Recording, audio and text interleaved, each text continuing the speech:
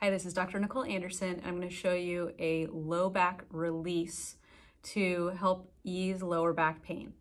So what you're going to do is set yourself up with a chair and ideally you also would have a pillow for your head. I don't have one here, but you can imagine it. You're going to put your feet up on the chair and again, remember your head is resting on a pillow. You're going to so here's 90 degrees, here's about 90 degrees of hip flexion. We wanna have more than that and just tune it into what's comfortable for you.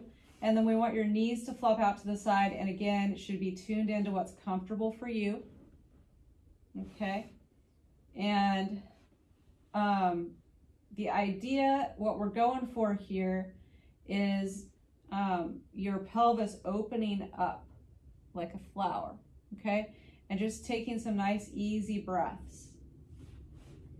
Your heels should be fairly close together, maybe about an inch apart. Again, remember your head is resting on a pillow and you're just going to take some easy breaths for a minute and a half. And this often does a lot for relieving lower back pain.